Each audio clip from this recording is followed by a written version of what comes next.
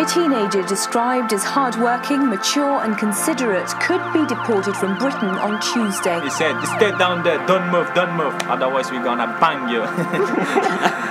But at the time, was it funny? no, no, no, that No, it was wasn't really fun, not funny Friday. at all. D- Have you ever thought of running away? If I run away, where should I go? I've got no place to go.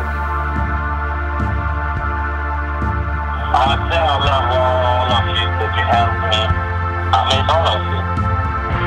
Going to miss you too.